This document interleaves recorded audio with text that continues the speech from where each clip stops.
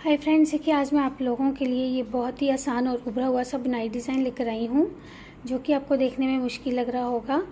पर ये इतना आसान है कि बिगिनर्स भी इसे बड़े आराम से बना सकते हैं और बैक साइड से इस तरह से दिखाई देता है। इसे आप बच्चों के प्रोजेक्ट्स पे भी अप्लाई कर सकते हैं और बड़ों के जेंट्स स्वेटर्स में लेडीज़ कार्डिगन वगैरह में भी यूज़ कर सकते हैं। और इसके लिए हमें जो फंदे लेने हैं वो पाँच पाँच के मल्टीपल में दो फंदे extra multiple of five plus two तो यहाँ पे हमने इसे सैंतीस फंदों पे बनाया है थर्टी सेवन स्टिचेस पे, और अभी हम इसे बारह फंदों पे सीखेंगे। ये देखिए, यहाँ पे हमने बारह फंदे कास्ट ऑन किए हैं। रॉ वन राइट साइड पहली सिलाई सीधी तरफ़ से, पहले फंदे को स्लिप किया। अब इसमें हम पहले इन सारे ही फंदों को सीधा सीधा बुन लेंगे। फ्रेंड्स अगर आप मेरे चैनल पे नए हैं तो प्लीज़ मेरे चैनल को सब्सक्राइब कर लीजिएगा और बेल आइकन भी प्रेस कर लीजिएगा। और अगर आपको पूरे वीडियोस मेरे देखने हैं पूरे पूरे प्रोजेक्ट्स तो चिंकिस क्रिएशंस चैनल है, उसको आप सब्सक्राइब कर सकते हैं। ये देखिए, पूरी रॉ हमने सीधी सीधी बुन ली। अब रॉन्ग साइड से हम इन सारे फंदों को उल्टा उल्टा बुन लेंगे। सेकंड रॉ दूसरी सिलाई, सारी उल्टी उल्टी बुन लेंगे। थोड़ा इसे फास्ट बुन लेते हैं।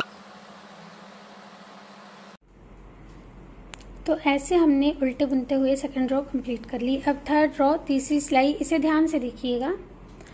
पहले फंदे को स्लिप करेंगे। अब धागा आगे लेकर आएँगे। यहाँ से हमारा पैटर्न रिपीट स्टार्ट होगा। देखिए क्या हमने रिपीट करना है। दो फंदों को एक साथ उल्टा बुनेंगे ऐसे। फिर अगले एक फंदे के उल्टा बुनते हुए तीन बनाएँगे। ऐसे एक बार उल्टा बुना। फिर धागा घुमा के एक बार फिर से उल्टा बुन देंगे।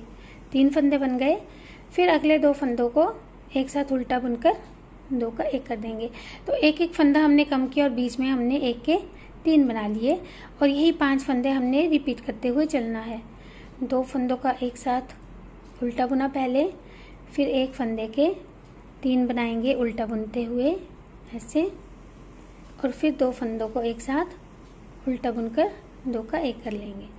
पूरी रो में ये पाँच पाँच फंदे हमने ऐसे ही रिपीट करते हुए चलना है। लास्ट में हेड स्टिच रहेगा, जिसे हम सीधा बुन लेंगे। तो ये हमारी थर्ड रो कंप्लीट हो गई।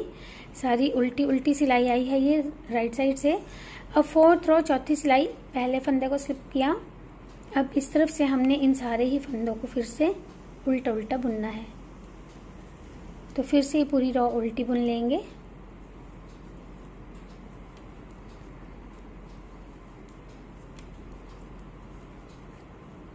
ये देखिए तो हमने ये चौथी सिलाई सारी उल्टी बुन ली और फ्रेंड्स यही चार सिलाइयाँ ही हमने बार बार रिपीट करनी है। देखिए बहुत ही आसान है ये।